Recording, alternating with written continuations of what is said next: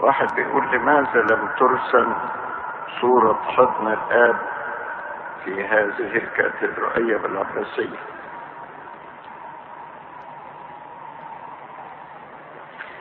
في الحقيقة المسألة مش سهلة.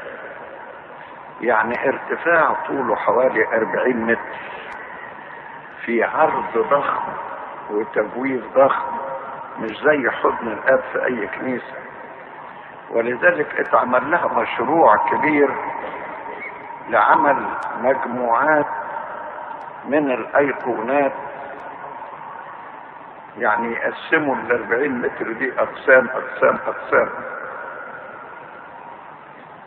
وبعدين ما تمش هذا الأمر.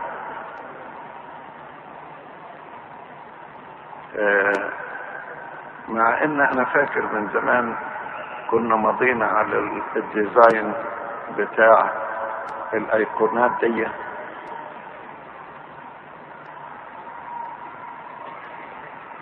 نشوف برضو لجنة الكاتدرائية بتعمل إيه في الموضوع ده. على فكرة لو ابتدأوا يرسموا أيقونات لحد الآن معناها إن الهيكل ده يقعد لا يستعمل لمدة عدة شهور.